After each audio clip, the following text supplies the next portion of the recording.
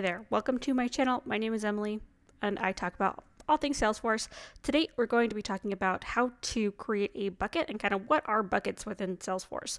Um, so first of all, I'm on the home screen. I like to start all of my tutorials on the home screen so you know how to get there. Um, if you don't, if you already knew how to get there into buckets, then go ahead and feel free to skip forward. Um, I'm going to go to reports, and if you can't find it up here in the navigation bar, you can go to the 3x3 and then go to reports, search for it, and then you can click on report. I already have a private report for opportunities, and this is the perfect one to show you this example. If you need to create a new report, you can just click new and go from there. So um, I'm going to click edit. It'll take us to the editor. And here we go. So buckets are kind of a cross between a formula field and a group by rows. So let's take, for example, we want to group by stage. Let me find stage. Here we go.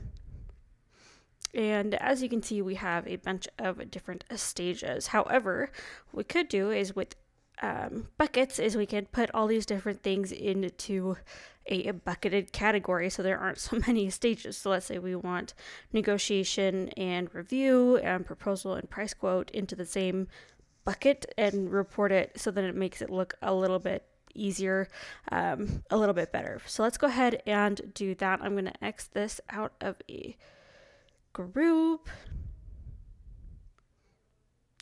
and let's go ahead and add a bucket column. I want to have the field be stage. All right, and so we can choose the different fields that we want in each bucket. I'm going to do a low probability.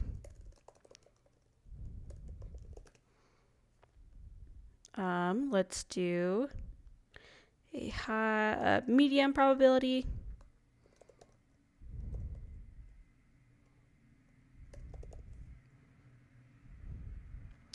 And let's do a high probability.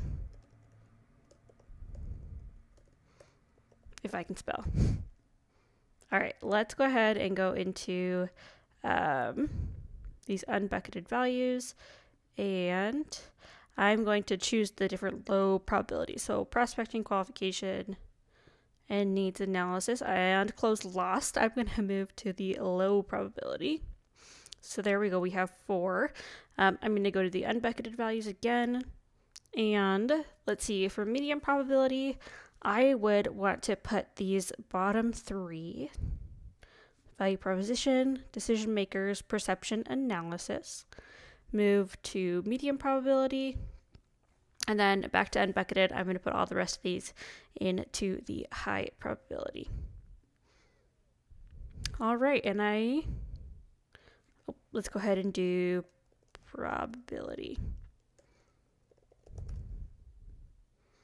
And apply. All right, so um, if I can find the probability field over here, it'll have this little bucket over here. I know there's a probability um, column over here, which is a percentage. I'm going to get rid of that so that it's not so confusing. Um, but as we can see over here at the very end, we do have a bucketed probability. So what I want to do is actually group it and then it'll look a lot better than if we just grouped it by stage. As you can see, we have our low probability, which are the four stages, medium, which are the three medium stages that we had, um, and then the high probability is in the higher probability opportunities that we have. Now, these will change as your data changes. So, what that means is, let's say you went something from um, value proposition, which is in the medium, as to um, price negotiation and review. So that would go from medium to high probability, and you need to rerun your report, but it should show that. Other ways that you can do this is not just with a pick list field, but also with a amount field. So let's go ahead and do that by amount. I'm going to do bucket. We can do a low and a high. Make that a little easier.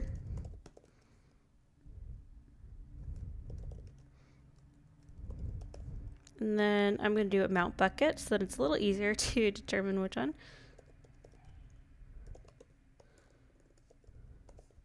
And I'm going to go to amount, apply, change the source column.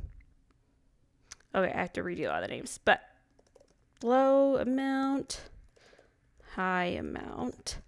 Um, and I would say, looking at the data over here, I'm going to do um,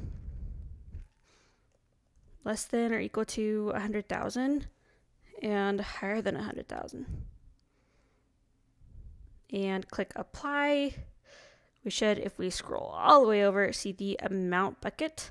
And I can also oops, I can also group by that. So let's go ahead and do the amount bucket. All right, and so now that we have two buckets, actually we can show the probabilities by the amount or the amounts by the probabilities. And as you can see, we have in our low probability, three low amounts and a higher amount. If I click out of the probability, it'll just break it down by low and high amounts. And it'll also subtotal all of those things. This might look like a higher cap or a low cap, um, depending on your sales system, but that is how you bucket. Um, I'm going to rename this report to the bucketed up.